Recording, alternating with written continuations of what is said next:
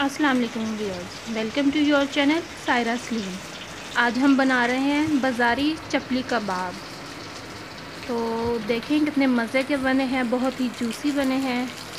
तो अगर आप भी बनाना चाहते हैं तो प्लीज़ हमारी पूरी वीडियो ज़रूर देखें। अब हम अपने इंग्रेडिएंट्स की तरफ़ आते हैं। उससे पहले हमारे चैनल को सब्सक्राइब कर लें और कमेंट ज़रूर कीजिए। हमने प्याज ले ली है एक प्याली भर के, इसे हमने बारीक बारीक चॉप कर लिया। ज़ीरा चाहिए हमें one and half tablespoon टमाटर भी हमने ले लिया, उसका गूदा निकाल दिया था और उसे भी बारीक बारीक चॉप कर लिया। एक प्याली। नमक one and half tablespoon साबुत धनिया, इसे आप रोस्ट कर लें और ये है वन टू टेबल स्पून कुटी लाल मिर्च ली है टू टेबल स्पून छः सात हरी मिर्चें ली हैं, उसे चॉप कर लें बारीक बारीक। ये सिक्स टेबल स्पून बेसन है, उसे हमने रोस्ट कर लिया है, भून लिया है। टू टेबल स्पून गर्म मसाला, पिसा गरम मसाला, दो अंडे चाहिए हमें। और ये टमाटर ऊपर कबाब में लगाने के लिए।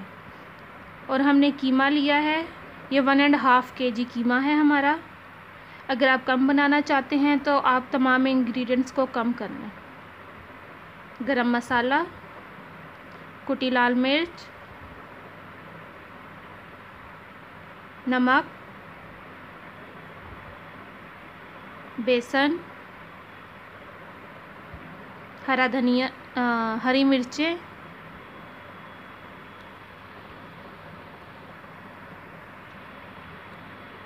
साबुत धनिया प्याज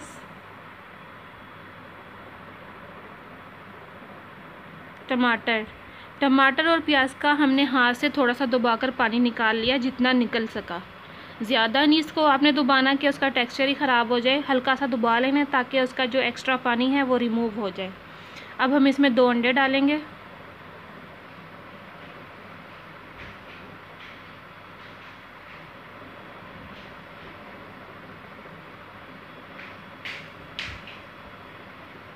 हम तमाम इंग्रेडिएंट्स को मिक्स कर लेंगे।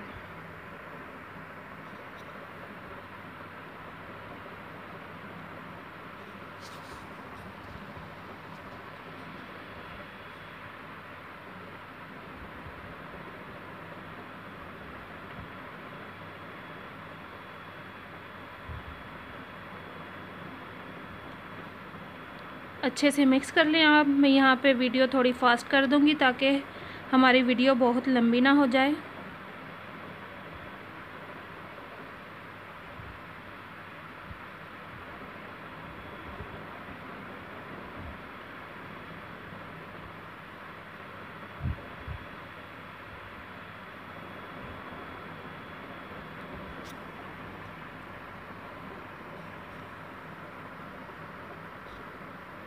ये हमने मिक्स कर लिया है। अगर आपको इस स्टेज पे आपने नमक मिर्च ज़रूर चख लेना है अगर आपको लगे कि इसमें नमक या मिर्चें थोड़ी सी आम, कम है तो आप डाल सकते हैं। मुझे लग रही थी कम तो मैंने वन टेबल स्पून कुटी लाल मिर्चें और डाल दी हैं जिसे बहुत ही स्पाइसी टेस्ट रहा है। अगर आप नॉर्मल खाना चाहते हैं तो आप दो टेबल स्पून ही रहने दें। अब हम इसके कबाब बना लेंगे।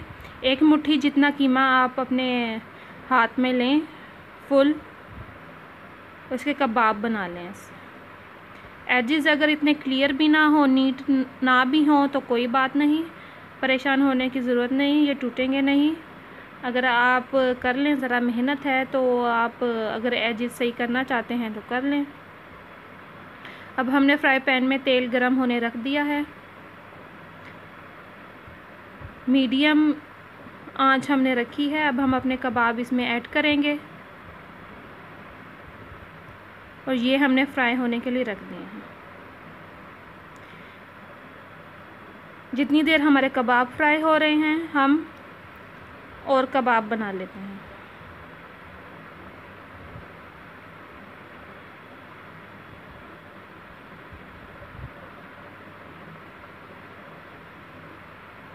आपने पलट के देख लेना है कि आपके कबाब नीचे से ब्राउन हो गए हैं। जब आपके कबाब ब्राउन हो जाएँ तो उसे पलट दें।